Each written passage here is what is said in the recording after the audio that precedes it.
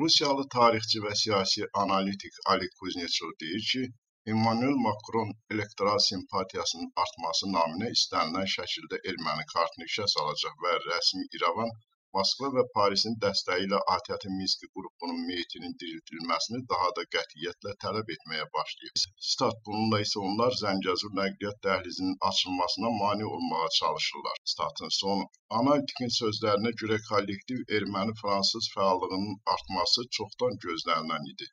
Gələn ilin yazında Fransada növbəti prezident seçkiləri keçirilməlidir. Son vaxtlar isə prezident Makronu daxili və xarici siyasi uğursuzluğa təqib edir.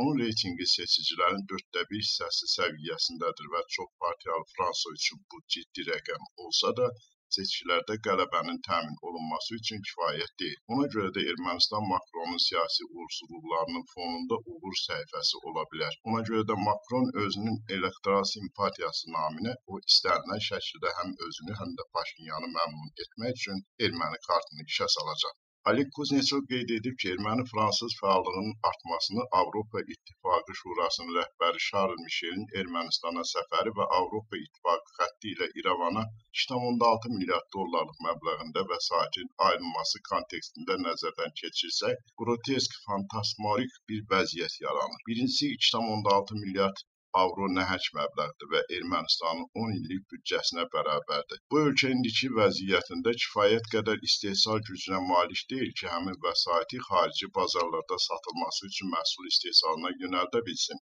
Avropa və Amerika üçün erməni malları prinsipcə lazım deyil. Rusiyada və digər MDB ölkələrində isə qədərindən artıq məhsul satılmayacaq. Mən istisna etmirəm ki, Avropa İttifaqının pullarının bir hissəsi Emmanuel Macronun seçki kampaniyasının keçirilməsi üçün qara kassaya yönəldiləcək. Yəni sadə dildə ifadə etsək, ekspert demək istəyir ki, Ermənistana ayrılacaq transın bir hissəsi Macronun seçki kampaniyasına sərf ediləcək. Bəs bu iddianı nə dərəcədə əsaslı saymaq olar? Söylənən fikirlərlə bağlı politoloq Əhəd Məmmədli Bakı xəbərə açıqlamasında bildirdi ki, bu çox ciddi məbləğ. Ermənistan kimi balaca bir ölkəyə bu qədər kreditin ayrılması çox təəccüblü görünür. Çünki Ermənistan həmin məbləği qaytarmaq gücündə deyil. Maraqlıdır ki, Avropa Birliyi iqtisadiyyatı zəif olan üzv ölkələrin heç birinə bu diqqəti göstərmir.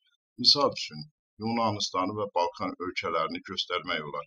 Bunun üçün də həmin ölkələrdə tez-tez hakimiyyət dəyişikliyi baş verir. Ona görə də belə bir məbləğin Ermənistana ayrılması bizdə haqlı suallar doğurur. Avropa Birliyi mütləq bunun izahını verməlidir. Əks təqdirdə biz Avropa Birliyi ilə bağlı siyasətimizi bir daha nəzərdən keçirməliyik. Onlarla bizə olunan yardımın fərqi bu qədər ola bilməz. Bunların bir hissəsinin Makronun seçki kampaniyasına yönəldilməsi isə inandırıcı sayıla bilər.